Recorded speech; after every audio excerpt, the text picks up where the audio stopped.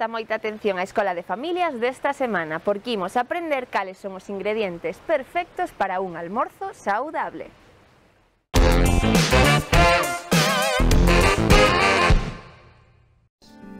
Hola, buenos días queridos padres. Hoy os quiero hablar del desayuno saludable, de un desayuno nutritivo, de un desayuno sano para que le deis a los niños para comenzar el día. Eh, ¿Os acordáis cuando antes se decía el colacao es el desayuno ideal? Y bueno, en aquella época se daba colacao con, galletas. Bueno, pues es todo lo contrario a lo que vamos a hablar hoy. Ha cambiado muchísimo la alimentación desde entonces. En un momento se daba colacao con galletas y os voy a decir todo lo que llevaba. También quiero hablaros del colacao porque yo no sé si habrá todavía alguien que le dé colacao a su hijo, que siempre hay alguien que le dé. Incluso a veces hay eh, mi primer colacao, como veis aquí. Entonces, claro, yo entiendo que si los papás ven mi primer colacao, ven que tiene hierro, que tiene una serie de minerales, pero que tiene una serie de vitaminas y ve que tiene poco azúcar, pues cree a lo mejor que es un alimento sano para, para su niño. Entonces ahora os quiero explicar lo que es el colacao, que muchas veces me pregunto a los papás si el colacao el Nesquik es lo mismo. No, no es lo mismo. El colacao lo tenéis aquí. Si os metéis en, en, en, en internet, en Organización Sin Azúcar, que yo lo recomiendo mucho, porque vais a ver la cantidad de ingredientes que compráis normalmente en el supermercado, que tiene una gran cantidad de azúcar. Eh, si, por ejemplo, yo me quedé sorprendida, por ejemplo, por, poner, por poneros un ejemplo, con el, el flandul. El flandul, que os lo ponen azucarillos, de repente tiene así de azucarillos. dices, pero Dios mío, ¿cómo puede tomar tanto azúcar? O puede tener tanto azúcar, pues un postre que yo compro así. Bueno, pues yo siempre recomiendo que miréis las etiquetas, que comprobéis la cantidad de azúcar, la cantidad de grasas que tiene. Eh, y sobre todo porque los niños tienen que tener una dieta saludable. Entonces aquí voy con el colacao. Y aquí ya veis la cantidad de azúcar que tiene el colacao. Cuando me preguntan otra vez entre el colacao y el Nesquik, por aquí se va. Aquí pone un 75% de azúcar, pues el, el Nesquik tiene un 75% de azúcar. O sea que lo que está tomando el niño es azúcar. Esta cantidad pequeñita que veis ahí abajo, eso es cacao. Pero es que no es ni cacao bueno, eso es una mezcla de cacaos, de cacao base y no bueno y mezclado. Y, que, y entonces fíjate tú que le estáis dando al niño. Le estás dando azúcar. Entonces la ONS dice que el niño no debe tomar más de 10 miligramos de azúcar al día, lo que equivale pues, como a dos cucharillas de pequeñitas. Y, y, lo ideal sería darle una cucharilla, no darle dos. ¿eh? O sea, lo ideal sería darle 5 miligramos de azúcar al día. Fijaros lo que os digo. Con lo cual, eh, la cantidad de azúcar que toma aquí en un vaso de colacao, pues es que ya cubre todas las calorías de, del día, prácticamente. O sea, todo el azúcar que le, tendríamos, que, que, le damos a, mayores de, este, que ya cubre todo el día, y luego a mayores en otros alimentos y en otras cosas los va a tomar, pues entonces, ¿qué vamos a conseguir? Vamos a conseguir niños con caries dentales, vamos a, a, a ver niños diabéticos, que el día de mañana debuten con una diabetes, vamos a, ver niños obesos, que ya lo vemos, en España hay muchos sobrepeso, mucha obesidad, por eso insistimos tanto en evitar el azúcar. Yo siempre digo, el azúcar no es bueno.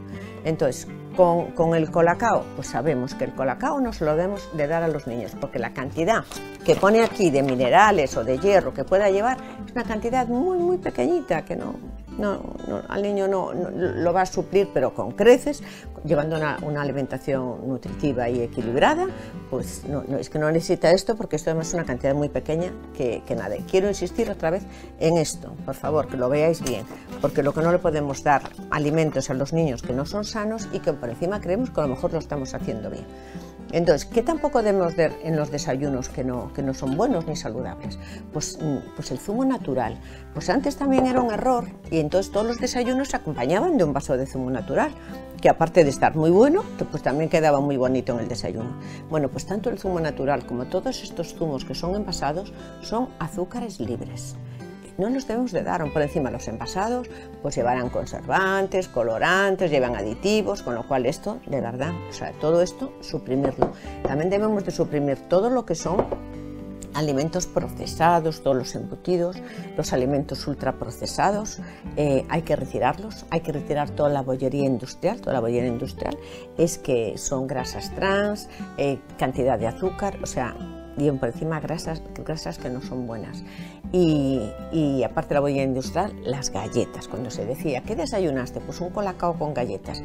Pues lleva calorías vacías, nutricionalmente cero, Y, como yo dije ya otras veces y como dicen algún nutricionista, no hay una galleta buena.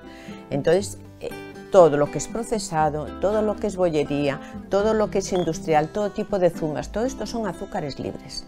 Entonces, si, el niño dice que no me gusta la leche sola, bueno, pues entonces tenemos el cacao.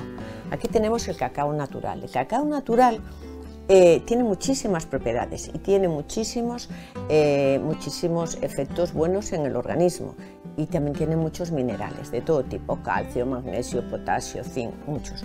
Entonces el ideal de esto sería el cacao 0% y desgrasado.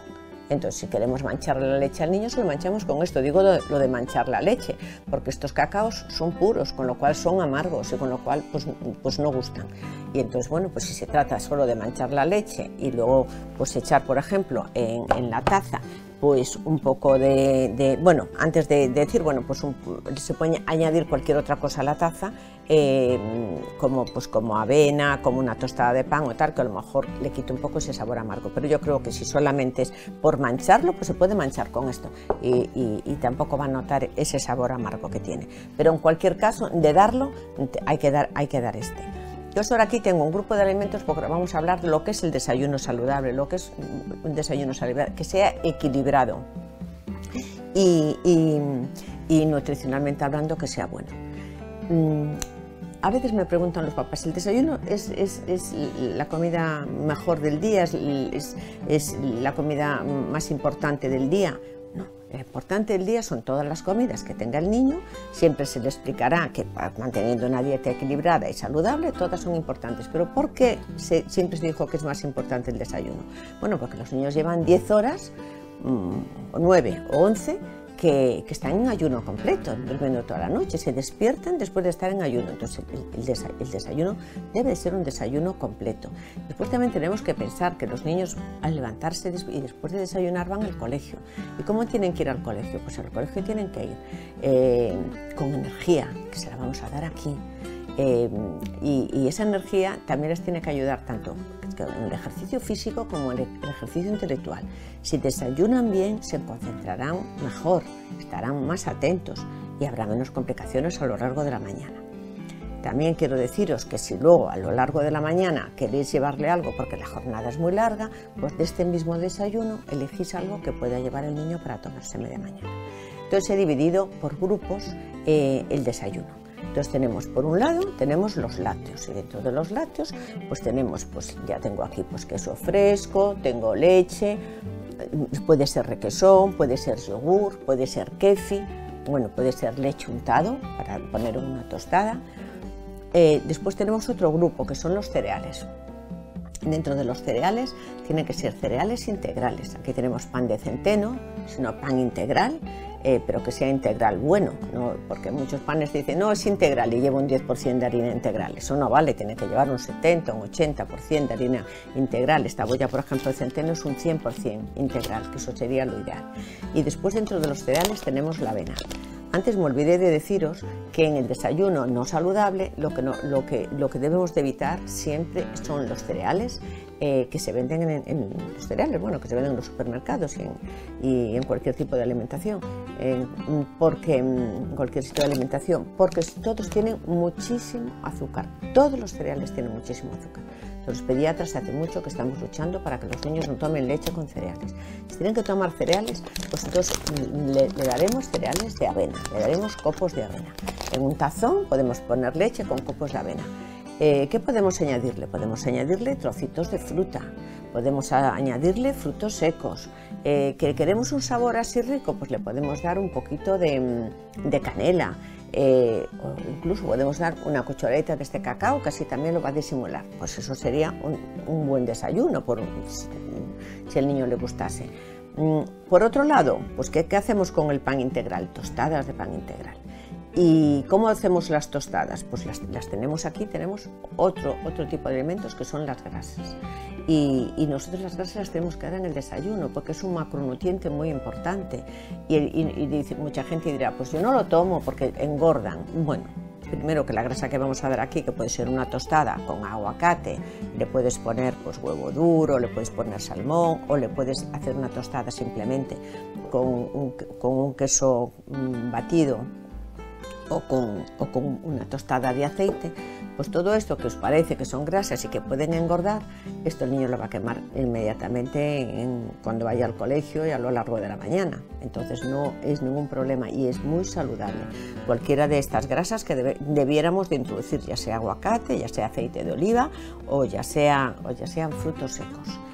Después tenemos otra parte que son las proteínas. Entonces, dentro de las proteínas, pues mm, podemos, mm, pues como decía antes de las tostadas, pues una tostada con tomate y, por ejemplo, jamón, jamón serrano, o podemos hacer una tostada con queso fresco, o una tostada con, bueno, con, una tortillita de un huevo. Desde luego el huevo es el rey del desayuno, eh, ya sea en revuelto, ya sea el huevo cocido o ya sea el huevo en tortilla de verdad, el huevo siempre os he dicho que es un alimento muy, muy nutricionalmente muy bueno, con muchísimas propiedades y que además quiero recalcar, por si no lo habíais oído, que yo estoy ya, ya también lo comenté, que el, mito de que, de que el colesterol aumentaba el colesterol en sangre y tal, eso ya está comprobado, ya hay evidencias científicas y estudios donde dicen que no eleva para nada el colesterol en sangre. O sea que podéis tomar un huevo diario si queréis sin ningún problema. Y os digo, para mí es el rey del desayuno, si, al, que le guste eh, y, lo quiera tomar, evidentemente. Y luego es, muy importante la parte de las frutas. La parte de las frutas es muy importante. Yo siempre recomiendo que se tomen una pieza de fruta en el desayuno. Que si en el desayuno toman otra cosa y no, pues se llevan la fruta, la pieza de fruta para media mañana. Pero es muy importante porque lo que es muy importante en un desayuno es que tome fibra. Son los carbohidratos complejos. Entonces la fibra la van a tener o bien de, los cereales, como hablamos antes, ya sea con tostadas, ya sea con los copos de avenas con algo, em, que los copos de avena también pueden ir mezclados con un yogur y mezclados pues, con, arándanos, frambuesas, trocitos de fresas, con frutos secos, eh, se le puede dar un sabor, como decía antes, con canela o, incluso una gotita de vainilla si hay niños que son reacios, mm, porque es importante, es importante que, quitemos el, sabor, el sabor dulce a los niños, que se acostumbren a, los sabores naturales de las frutas y de, y de los alimentos. Y, bueno, pero si algunos son muy reacios, pues podemos añadirle algo para que el niño pues, le guste más y lo disfrute más. Entonces siempre pues, podemos echarle, pero siempre lo ideal son trocitos de fruto, de frutos secos. Los frutos secos según la edad, ya sabéis que antes de los cuatro años no se pueden tomar enteros, tendrían que ser molidos o se podría dar en, en crema, por ejemplo una crema de cacahuete. Y, y yo creo que más o menos mm, no me falta nada el desayuno. Aquí hicimos los, grupos más importantes de lo que un desayuno debe ser sano, equilibrado, sería un buen desayuno y, sería nutricionalmente pues, pues completísimo. pois ata aquí chegou o xornal escolar desta semana. Voltamos dentro duns días para festexar xuntos o Día do Libro. Así que, si queres, podes enviarnos algunha das actividades propagadas no teu cole o enderezo xornalescolar.com. Aquí vos agardamos.